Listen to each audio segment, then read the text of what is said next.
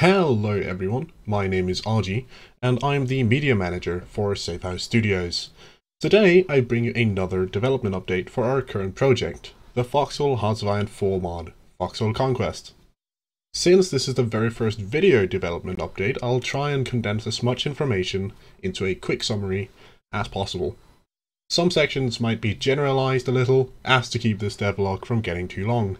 The current status of the mod is the map has been implemented twice, due to the developers of Hearts of Iron reworking the map. The new map texture has been implemented, however, regions and their terrain type and similar specifications for each individual tile is rough, repetitive and time consuming, so progress is unfortunately quite slow. I will be going into this more after the overview. Another awesome addition to the map is a custom bulwark 3D texture. We hope to be able to represent the bulwark with this texture, but as with everything, implementation is difficult.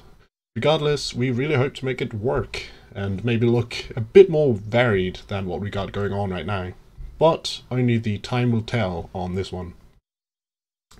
The Colonial National Focus Tree is completed in terms of structure, naming and intended outcome.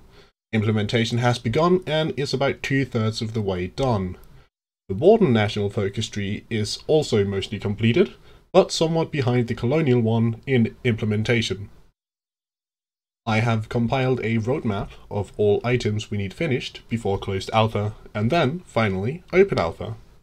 In terms of progress, the yellow section is what we are currently working away at, with the green section being complete or in its finishing stages.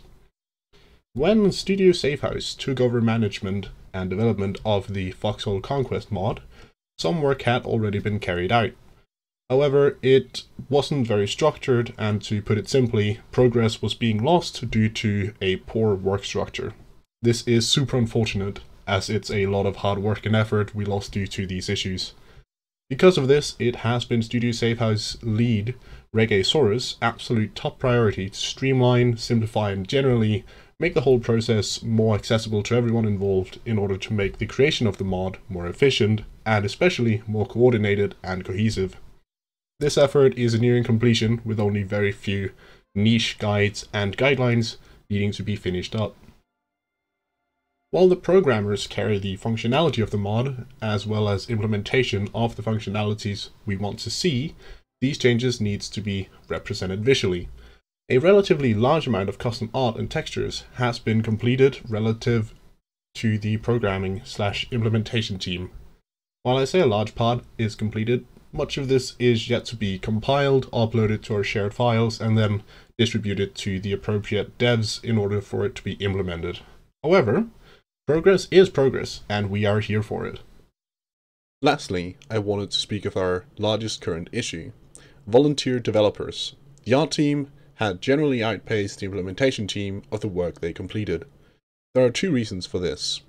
We had a lot of artists for a while, and that was amazing, but we have relatively few programmers. However, we are now in a situation where we are lacking volunteer help of any kind. The team is relatively balanced at the current moment, but has shrunk in size as some of the staff has moved on to personal projects or simply been happy with their contributions. Therefore, we are looking for people interested in giving a hand with the project. If you have dabbled in art or programming on the side, maybe had a class in school, or just have a chunk of time you don't know what to do with, you are more than welcome to swing by and give a hand. It ain't about how much work you dump on the project. If you give an hour or two every week, that is amazing. We're looking for stable devs, not a quick crunch of 20 hours dumped over two weeks. Although we probably wouldn't say no to that either right now. I've been Argie, and this has been the development update for the Hearts of Iron 4 mod, Foxhole Conquest.